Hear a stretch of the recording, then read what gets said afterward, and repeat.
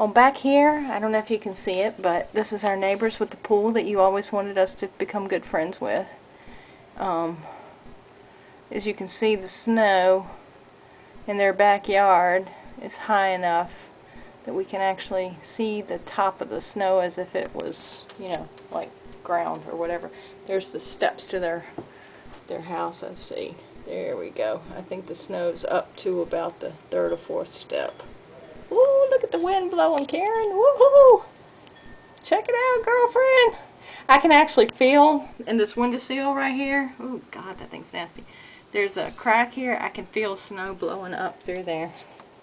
It's probably really contributing to my heating bill.